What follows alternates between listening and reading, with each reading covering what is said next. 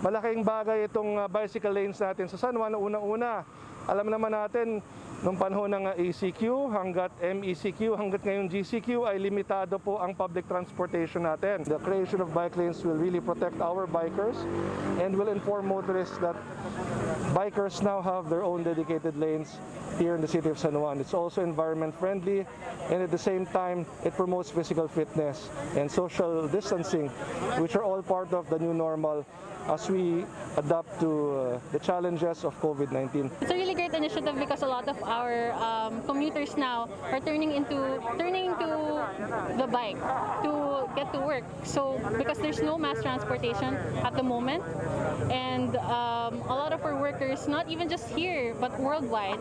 From my experience as a cyclist, I find it uh, difficult um, to bike alongside really fast cars. So I really think that it's important to have protected bike lanes.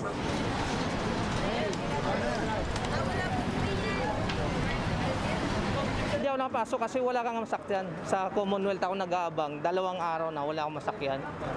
Kaya nag-decide akong bumili kahit ganito lang para service. Makapasok lang. Pag Christmas, mabili. Mas mabili sa ngayon sa panahon na to.